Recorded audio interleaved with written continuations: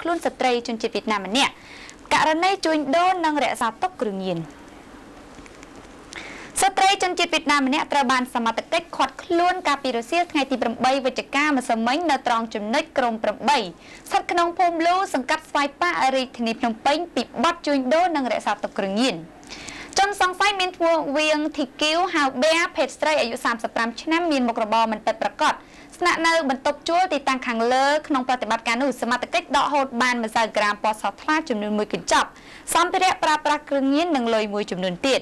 បច្ចុប្បន្នជនសង្ស័យខាងលើកំពុងត្រូវបានសមត្ថកិច្ចកសាងសំណុំរឿងដើម្បីបញ្ជូនទៅកាន់អធិការដ្ឋាននគរបាលខណ្ឌរិស័យកែវដើម្បីចាត់ការទៅតាមផ្លូវច្បាប់។